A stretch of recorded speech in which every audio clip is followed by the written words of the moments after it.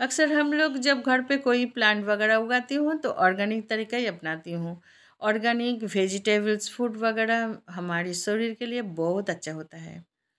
ये बच्चे लोग कैसे हैं सारे ज़रूर बताना।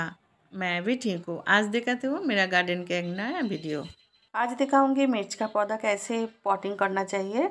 ऐसे पॉटिंग करने से मिर्च का पौधे में बहुत सारे मिर्च आ जाएगा और एक भी बीमारी नहीं होगा। इस प्लांट को बहुत बीमारी होता है तो नहीं होगा। देखो कैसे मैं करती हूँ। ये करने के लिए मैं पहले ये नीम नीम की जो सूखा पत्ती है और डंठल ये डाल देती हूँ।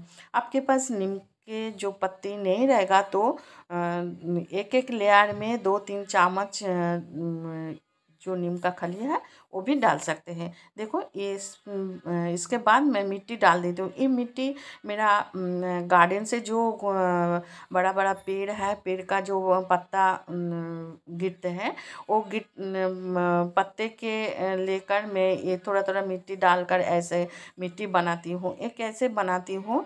मैं बाद में एक वीडियो लेकर आऊँगी। तो देखो इसके बाद में और एक लेयर नीम का पत्ते दे देती हूँ। और उसके बाद ये मिट्टी डाल देती हूँ। ये मिट्टी ओल्डन है, एक भी पानी नहीं रहेगा। तो इधर देखो, ऐसा करके मैं डाल देती हूँ। आधा ही डालूँगी एक पॉट नहीं भरूँगी अभी। तो इसके बाद मैं क्या करूँगी, वो दिखाती हूँ। तो देखो, ऐसा भर दिया, आधा ये राख दिया, आधा बाद में मैं भरूँगी। इसके बाद मैं दिखाती हूँ, इधर इधर प्लास्टिक का बोतल ले लिया। लेने के बाद ऊपर ही भाग देखो, कैसा होल कर लिया इधर थोड़ा थोड़ा करके होल कर लिया और पीछे से ऐसा कर लिया। ये क्या करूँ दिखाती हूँ। इसके बाद इसके अंदर डालूँगी जितनी दूर तक होल है, उतनी दूर तक मैं ये चारकोल का बड़ा बड़ा टुकड़ा डाल देती हूँ। इसके अंदर डाल देती हूँ। ये चारकोल का टुकड़ा कैसे क्या करेगा? मैं बाद में बताती हूँ। देखो जितने दूर तक ये होल है डाल दिया। डालने का बाद ये मिर्च का जो प्लांट है, मैं अभी इधर बैठा देती हूँ।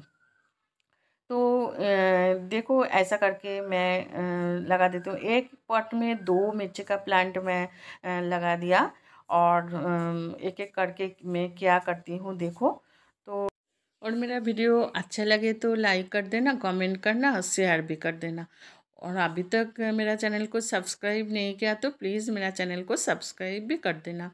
तो देखो, अभी दो प्लांट का जो मिडिल है मिडिल में ये जो प्लास्टिक का बटल ये रख दिया। रखने का बाद ये मिट्टी से भर देती हूँ इधर। ऐसा करके आप लोग मिर्ची का पौधा जो घर पर लगाओगे तो देखो मिर्च बहुत सारे मिर्च आएगा ये प्लांट में और एक भी ये बीमारी नहीं लगेगा।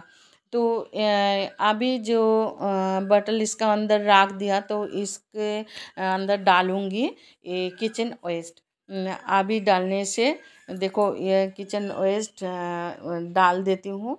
डालने का बाद पानी डालूँगी। पानी डालने का बाद ये जो पानी है, दोनों प्लांट में चला जाएगा। मिट्टी गीला हो जाएगा। देखो, पानी डाल दिया।